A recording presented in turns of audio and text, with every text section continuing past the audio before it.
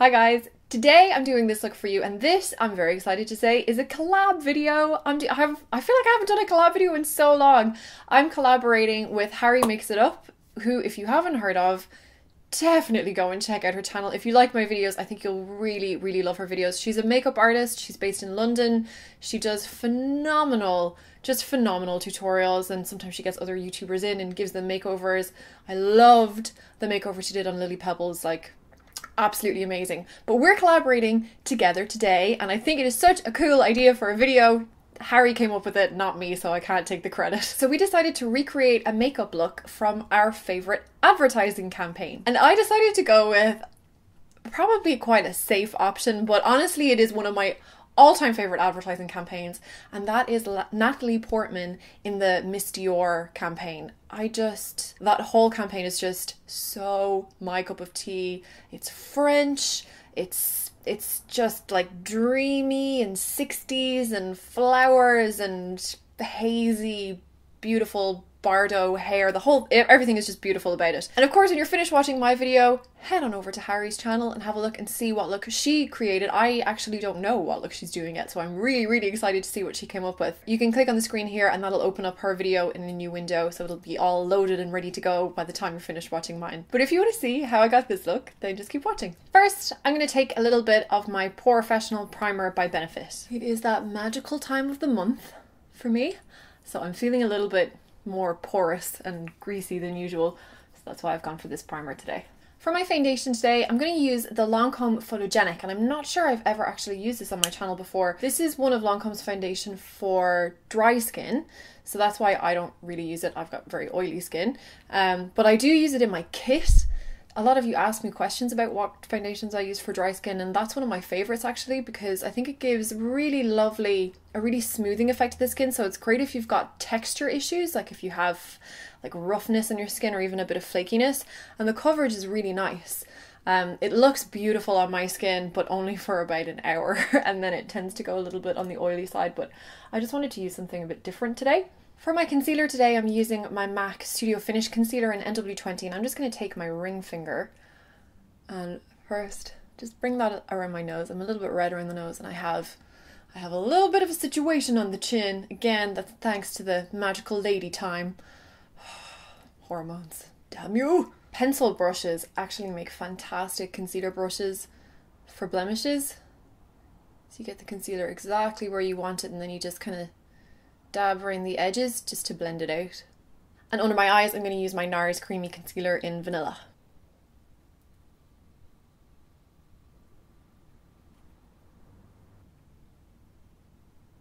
And then I'm going to use my Ambient Lighting Powder in Ethereal Light to set. And I'm just taking a small Sigma brush to set under the eyes first. And then just a bigger fluffy brush to set everywhere else. I'm going to finish the skin now actually and first I'm going to take some highlight and today I'm using the MAC Emphasize highlighter which is just an off-white highlight.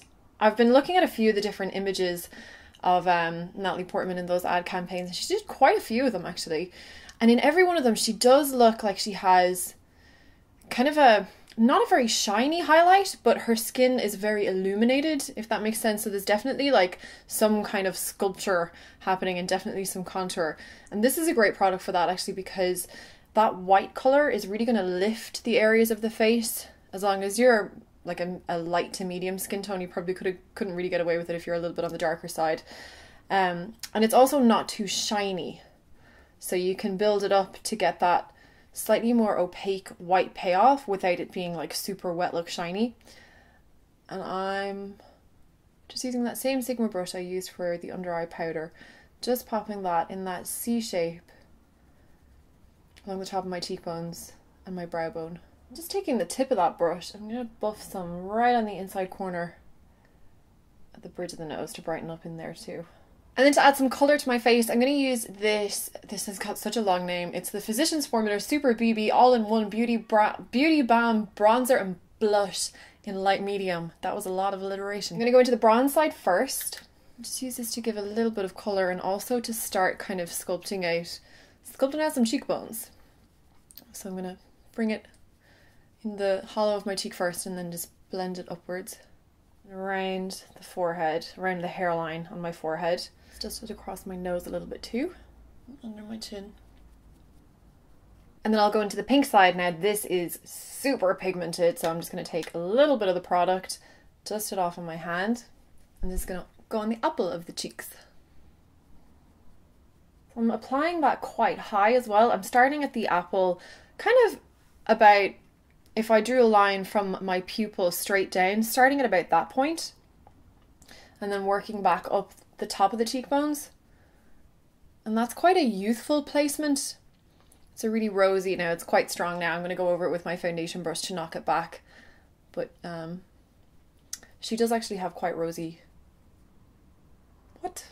How did that even happen? So moving on to the eyes. Before I do the eyebrows, I'm first going to take a little bit of my Painterly Paint Pot by MAC on a concealer brush and starting from the socket, I'm going to just put that on the brow bone up towards the brow. So I'm not actually putting this on the eyelid.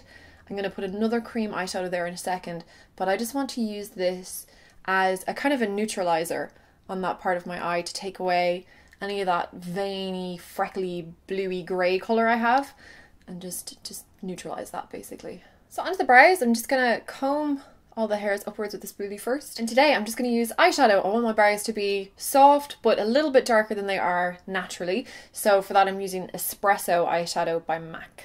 So Natalie has quite a distinctive brow shape. They're a lot straighter than mine are and not as arched. So I'm going to try and make my brows like a little bit straighter. Um, I'm not going to try and do that too much though because otherwise my brows will end up looking very, very thick. Um, but I'm just going to try and flatten out that arch a tiny bit by coming straight across rather than arching up and back down again. Onto the eyes, I'm first going to take this Mary Kay cream eyeshadow. This is called Glacier Grey. I'm just working the brush in and then I'm going to take the excess off on my hand. And I'm just going to very lightly buff that all over the eyelid. It looks like the colours she's wearing are kind of taupe, like dove grey colours with a slightly warmer brown. Um, it's hard to tell. It's always very hard to tell with these kind of campaigns because the photos are so heavily edited. It's really, really hard to know exactly what colours that they, they did use. But um, this is this is my interpretation of it anyway. I'm just buffing that all over the eyelid and then whatever's left on the brush, I'm just buffing that ever so slightly higher than my socket towards the eyebrow, just a little bit onto the brow bone just to give a bit of a transition shade up there. And with that same eyeshadow but a slightly pointier, more tapered eyeshadow brush, I'm going to bring that on the lower lash line again, just making sure I take the excess off. I'm just going to run that right along the lashes on my lower lash line take my concealer brush to soften the edge of that. I'm going to go back into Emphasize by MAC, my skin highlighter, on that pointy eyeshadow brush again, and I'm just going to pop that around the very inside, and this is just going to act as my highlight. Next, I'm going to take some of my Makeup Store Masai eyeshadow, and I actually forgot to use this already. I'm going to be using this as my cheek contour, I forgot to do that earlier, but I'm also going to use it as my eye contour. On that same eyeshadow brush, again, just take off the excess, I'm going to just softly run this into my socket. And I definitely don't want this to be a very, very crease heavy look, like a cut crease or anything like that. I just want to add an extra bit of definition in there just to frame the eye and open them up again. And I'm not actually joining this into my lower lash line, I'm just stopping shy. Um, so I'm kind of it will make sense when the eyeliner goes on, but basically, I'm kind of imagining that the eyeliner is already there and it's coming straight up this way at the same angle of my lower lash line, and I'm ending this crease color where I know the eyeliner is going to cut through. I hope that makes sense.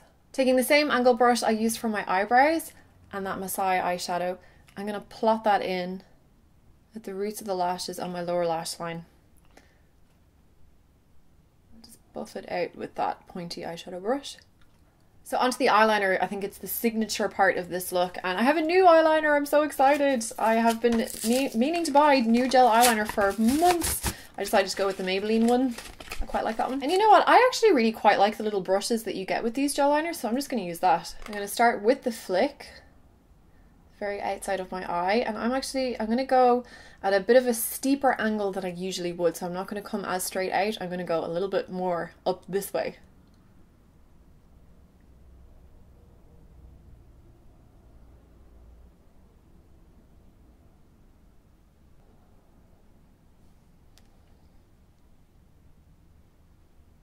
Just using a brush with a tiny bit of concealer on it just to take off the edge. I don't want it to be quite as pointy as that.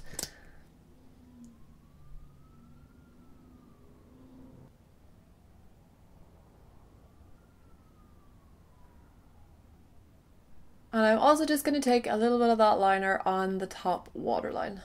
For mascara today, I'm using Haute and Naughty. I'm just going to do the pink side today because I'm going to be popping on some individual false lashes. So I don't want my uh, lashes to be too heavily coated in mascara just yet. Before I pop on the lashes, I'm going to take that Masai eyeshadow and that little Sigma brush again and I'm going to do a teeny bit of contouring because it definitely looks like she has contouring. Nobody has cheekbones that amazing, right?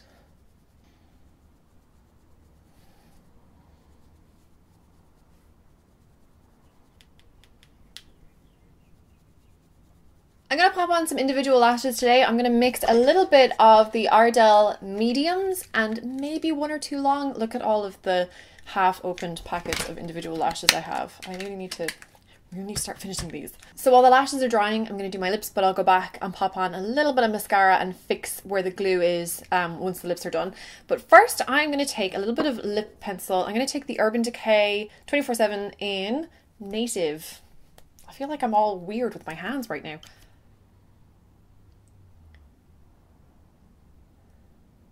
Next, I'm going to take Creme Cup lipstick by MAC.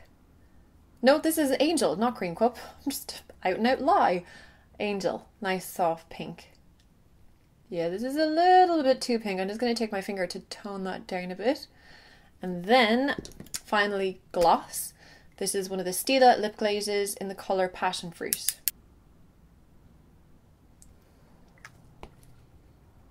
And that's the finished look. So I really hope you enjoyed watching this tutorial, guys. I really hope you give it a go yourself because it is actually a super duper easy look to do. The only tricky part is the eyeliner and all that is is a matter of practice. Definitely go check out Harry's video as well. You can click on the screen here, it'll open it up. Go say hello, go subscribe to her. She is really really fantastic you'll really really love her guys and if you enjoyed my video please give it a thumbs up and please subscribe especially if you're a new person that came from harry's channel hi guys why not subscribe? I put out lots of makeup videos and stuff and it's real fun. I really, really hope you enjoyed this video. Thank you so much for watching, guys. I really, genuinely, genuinely appreciate it. I hope you're having a wonderful day and we'll see you very soon. Bye!